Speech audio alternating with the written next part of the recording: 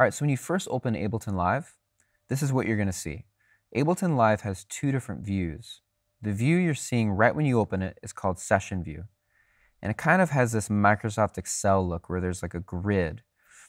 The other view is called Arrangement View. And to get to that view, you can hit the Tab key, or you can, in the top right corner, hit this little icon that has horizontal bars.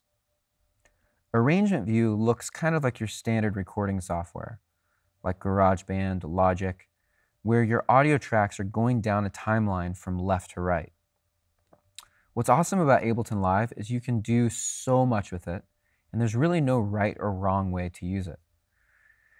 I prefer to use Arrangement View for recording and making my own tracks or customizing arrangements, which is maybe why it's called Arrangement View. Um, for live performance, for actually running tracks, I prefer to use Session View. And so we're going to look at that first. So in Session View, it's made up of these vertical columns, which are tracks. And so think of these as your instruments.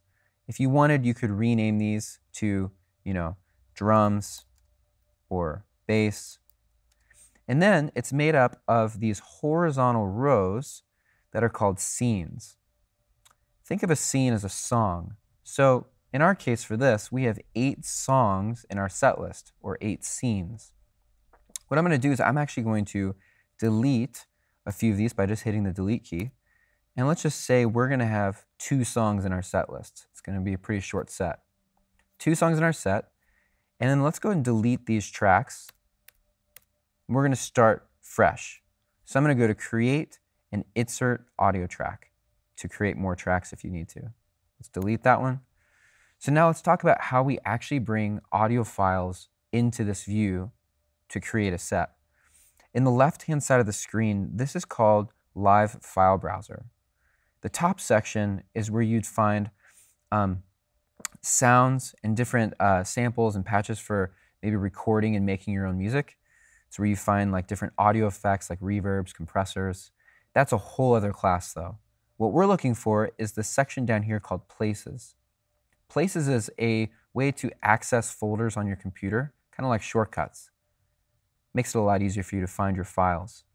So I have a folder on my computer called My Worship Songs, and you could always add your own by just clicking Add Folder. And then under My Worship Songs, I have the different tracks that I can use. So let's go ahead and pull in our first song. And these are all tracks that I've purchased from loopcommunity.com.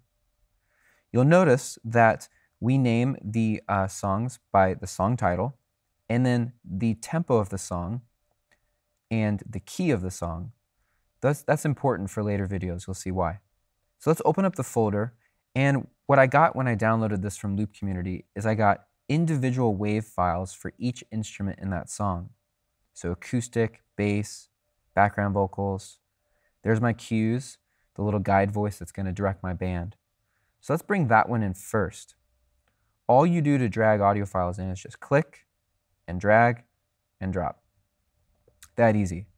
Let's right click and rename this first track to be called cues. So this column or this track is where I'm going to be putting all of my band cues. Now let's go and bring in my other instruments. I could bring them in one at a time by just dragging and dropping and notice that when I drop this clip, it's going to create a track for me. Now, instead of doing just one at a time, I could bring them all in at once by just holding Command to select the tracks that I want, like this, and then dragging and dropping them into this view. Now, you'll notice when I dropped it, it dropped them in vertically. And we don't want that. We actually want them to go across horizontally. So let me undo that. I'm going to show you how you can drop them in horizontally. You just drag them over, and then while you're dragging it, hold command and it will now drop those audio clips in horizontally. And look, it actually created tracks for me, which made it so easy. If I wanted to get really organized, I could rename all of these tracks to what those instruments are, like acoustic or drums, but we don't have time to do all those. So now that those are all brought into my set, I'm going to go ahead on the right-hand side I'm going to rename that scene to the title of the song. So I'm going to call it This is Amazing Grace. Great. Now, if I'd like, I can actually um, recolor these tracks to make them kind of all be the same by just clicking on them, right click, and it gives you a little color palette. You can choose what color you want. By holding shift, I can select all of these clips at once like that and right click and change the color. You can also change the color of the song title, which is helpful. You can also change the color of the track titles like this. So there's my first song in my set. Let's go ahead and bring in one more song. So I'm going to go to um, my tracks. I'm going to bring in You Make Me Brave. I'm going to bring in the cues to the cue track. And then let's bring in everything else. I'm going to hold shift to select what I want.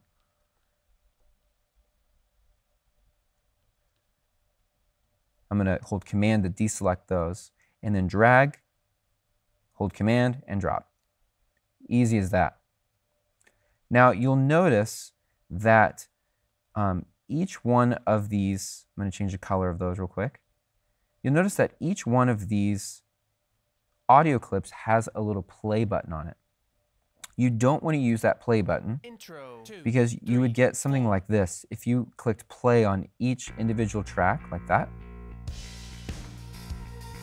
All of those audio clips are playing, but the problem is that they're playing out of time.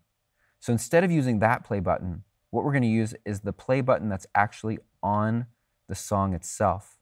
Intro, two, three, when I click that, all of the audio clips start playing at the exact same time with each other.